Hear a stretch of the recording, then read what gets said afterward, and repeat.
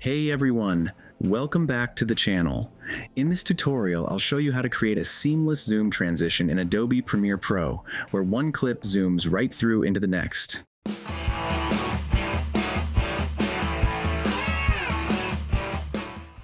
Let's dive in. I've got three clips in the timeline with straight cuts between each. We'll move the playhead to the cut point between the first two clips and zoom in a little. We'll create this transition using adjustment layers. First, go to the project window, click New Item, select Adjustment Layer, hit OK, and drag the adjustment layer over a track above the cut point. Hold Shift and hit the left arrow key three times to move 15 frames to the left of the cut point and trim the adjustment layer to that position. Then go 15 frames to the right of the cut and do the same. Hit C to select the razor tool and cut the adjustment layer right at the center, aligning it with the video clip cut. Press V to return to the selection tool. Now let's work on the first half of the transition. Zooming out of the first clip, select the first half of the adjustment layer, go to Effects, search for Transform, and double-click it to apply. In the Effect Controls panel, under the Transform effect, click the stopwatch beside Scale to create a keyframe. Move forward to the second to last frame and set the scale value to 200 to add another keyframe. This zoom will animate linearly by default, so let's improve it. Select both keyframes, right click, choose ease in, then right click again and choose ease out. Drag the control handles fully to the right to create a velocity curve for smooth acceleration. Move the second keyframe to the end of the adjustment layer. Finally, uncheck Use Composition Shutter Angle and set the shutter angle to 360 for maximum motion blur. This adds a smooth, dynamic zoom with natural blur as velocity increases. Next, we'll build the second half of the transition. We don't want to zoom in from below 100% scale because that creates blank space.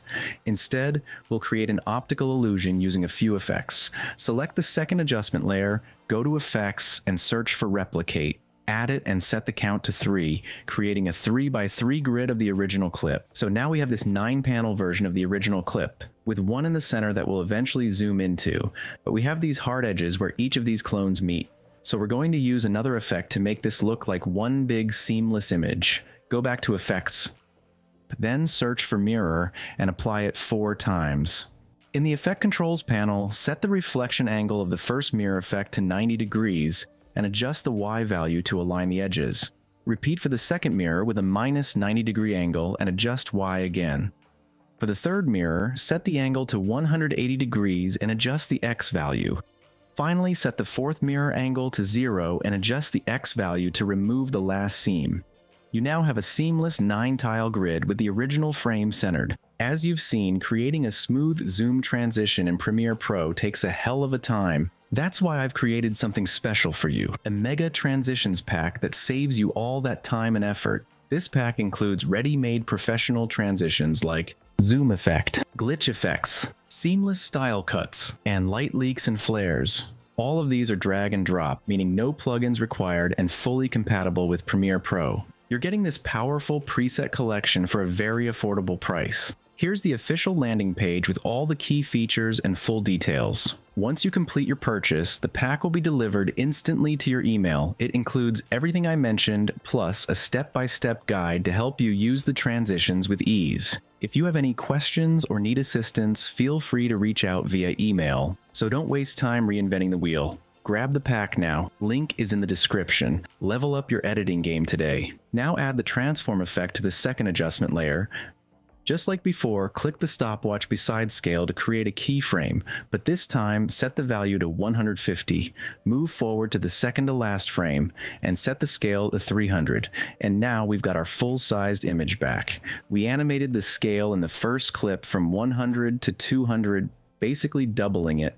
So we're doubling the scale on this clip as well, from 150 to 300. We'll add easing to this animation as well.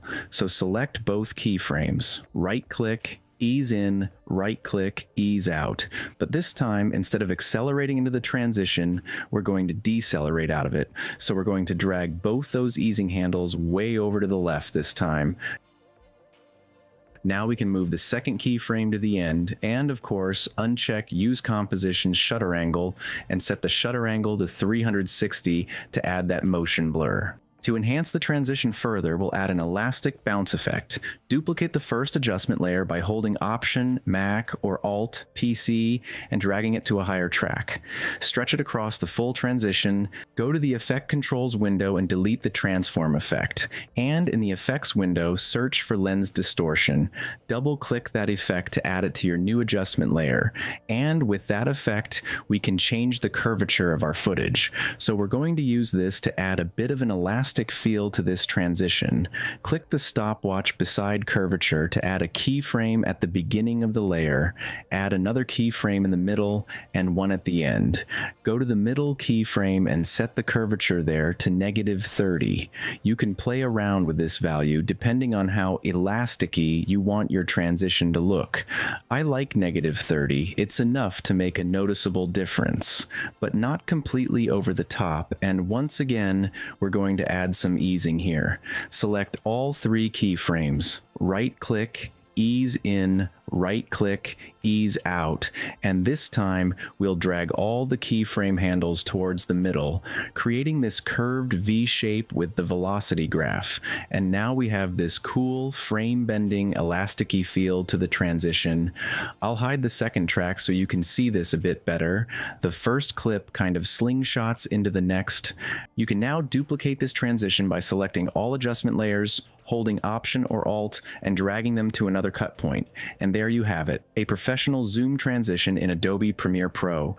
Thanks for watching. If you found this helpful, make sure to like, subscribe, and leave a comment if you need any help. I'm always here to answer your questions and support you.